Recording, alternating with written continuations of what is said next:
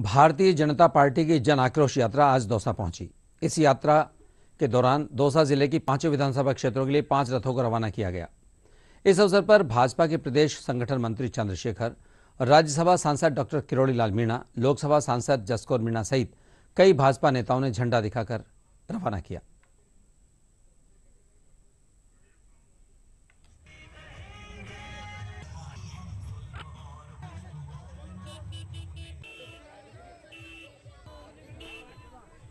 सत्ता में आने से पूर्व, चाहे किसान हो, चाहे जवान हो, चाहे मजदूर हो, उनको आश्वासन दिया था, किसानों का कर्जा माफ़ी का दिया था, बेरोजगारों को बेरोजगारी भत्ता का दिया था, और राजस्थान के समुचित विकास का आश्वासन दिया था। लेकिन सिवाय चार साल लड़ाई के, कांग्रेस ने कुछ नहीं किया।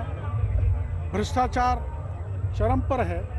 राजस्थान की जनता पूरी तरह से त्रस्त है और इन मुद्दों को लेकर हम जनता के बीच में जा रहे हैं।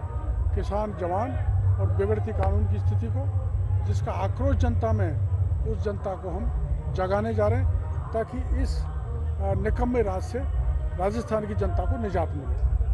भारतीय जनता पार्टी की जन आक्रोश रैली और रथों के माध्यम से हम गांव-गांव, गली-गली जाएँगे।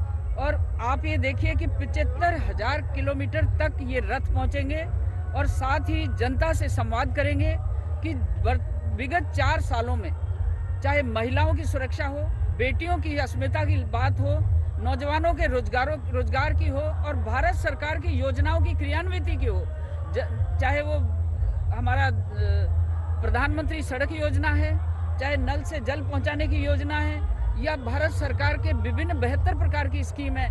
एक भी स्कीम, कल मैंने सुकन्या योजना पर समीक्षा भी की। तो लगता है कि राजस्थान की सरकार को सुकन्या से कोई लेना देना नहीं है, विकास से कोई लेना देना नहीं है, केवल उनको गद्दी बचाने का एक अभियान उन्होंने कर रखा